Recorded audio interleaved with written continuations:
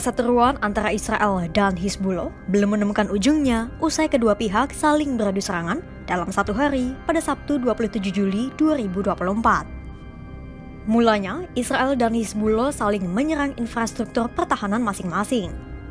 Namun, situasi makin runyam saat sebuah roket yang diduga berasal dari Hizbullah turut menyerang sebuah lapangan sepak bola di Israel Utara. Imbasnya, belasan anak dan remaja tewas dan memicu kemarahan Israel. Membuat konflik Israel dan Hizbullah kian memburuk. Lantas, bagaimana duduk perkara adu serangan antara Israel dan Hizbullah pada Sabtu 27 Juli 2024 yang lalu?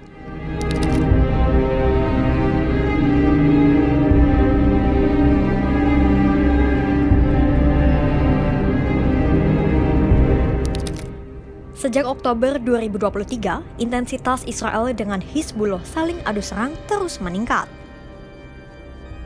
Serangan terus berlanjut, bahkan sempat tersiar isu bahwa perang besar-besaran akan terjadi di antara keduanya usai para petinggi militer Israel menyetujui rencana operasi lanjutan ke Lebanon pada 18 Juni 2024 yang lalu. Hingga kini, serangan-serangan yang menyasar infrastruktur pertahanan masing-masing masih terus dilaporkan.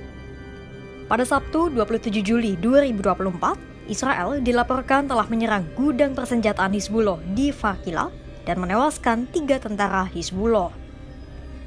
Tak berselang lama, Hizbullah kemudian melancarkan serangan balasan.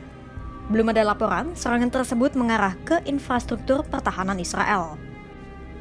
Akan tetapi, serangan itu dikaitkan dengan roket yang meledak di lapangan sepak bola di dataran tinggi Golan dan menewaskan belasan remaja.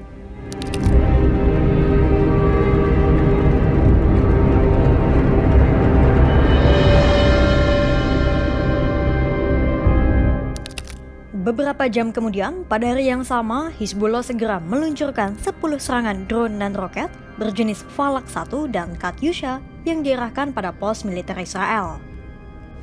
Hizbullah mengakui bahwa pihaknya melancarkan serangan di pangkalan militer Israel di dataran tinggi Golan dekat perbatasan antara Israel dan Lebanon.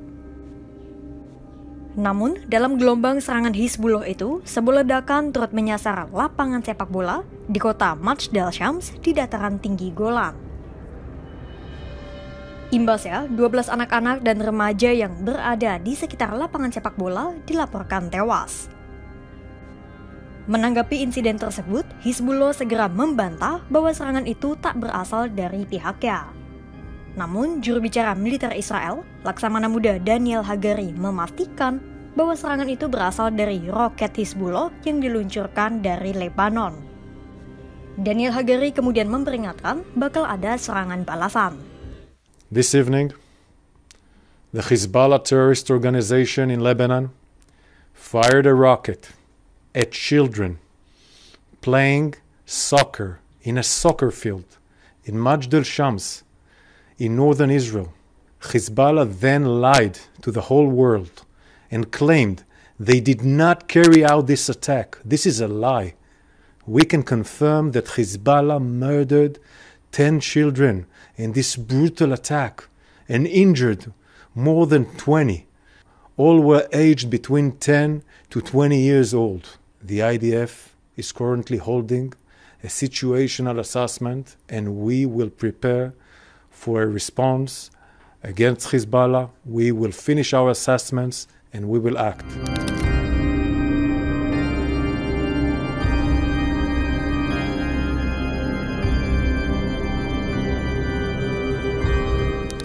Tak memakan waktu lama, Israel segera memberikan tanggapan kepada Hizbullah dengan mengirim serangan balasan. Dalam video hitam putih yang dirilis oleh militer Israel pada Minggu 28 Juli 2024, nampak sebuah serangan meledakkan satu titik. Adapun dalam serangan balasan tersebut, militer Israel mengeklaim pihaknya telah meluncurkan sejumlah serangan ke beberapa wilayah. Militer Israel melaporkan JT berhasil meledakkan depot senjata dan infrastruktur Hizbullah di lembah Beka di Lebanon Timur, Shabriha, dan Burj al-Shemali.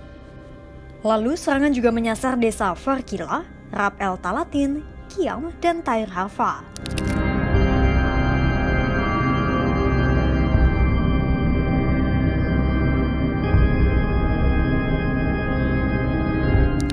Sekutu dari Hizbullah dan Israel, yaitu Iran dan Amerika Serikat, segera buka suara terkait insiden yang terjadi sejak Sabtu dan Minggu pada akhir Juli tersebut.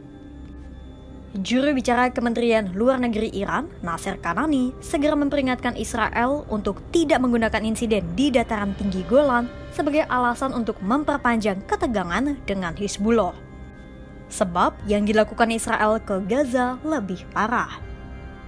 Nasser Kanani juga menyatakan Israel akan bertanggung jawab terhadap semua tindakan yang semakin mengganggu stabilitas kawasan.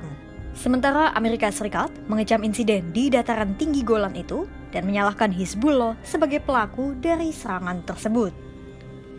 Amerika Serikat juga menyatakan bakal mendukung hak Israel untuk membela diri. Hal itu disampaikan oleh Menteri Luar Negeri Amerika Serikat, Anthony Blinken, pada Minggu 28 Juli 2024. Blinken juga menyatakan bahwa Amerika Serikat saat ini tengah memperjuangkan terciptanya perdamaian, tak hanya di Gaza, namun juga wilayah konflik lainnya di Timur Tengah dengan terwujudnya gencatan senjata. The, uh, the Golan Heights. Uh, first, let me say that we are deeply saddened by the loss of life that we saw. Uh, there is no justification for terrorism, period. And every uh, indication is that indeed the rockets were uh, from, uh, or the rocket was from Hezbollah. Um, we stand by Israel's right to defend its citizens from terrorist attacks. And one of the reasons that we're continuing to work so hard for a ceasefire in Gaza is not just for Gaza, but also so that we can really unlock an opportunity to bring calm, lasting calm, across the blue line between Israel uh, and Lebanon. Um, we're determined to, to bring the Gaza conflict to a close. It's gone on for far too long. It's cost far too many lives. We want to see Israelis, we want to see Palestinians, we want to see Lebanese live free from the threat of conflict and violence. Situasi keruh antara Israel dan Hizbullah telah terjadi selama berbulan-bulan. Sejauh ini, per Senin 29 Juli 2024, serangan Israel ke Hizbullah telah menewaskan lebih dari 450 orang dan 90 di antaranya merupakan warga sipil.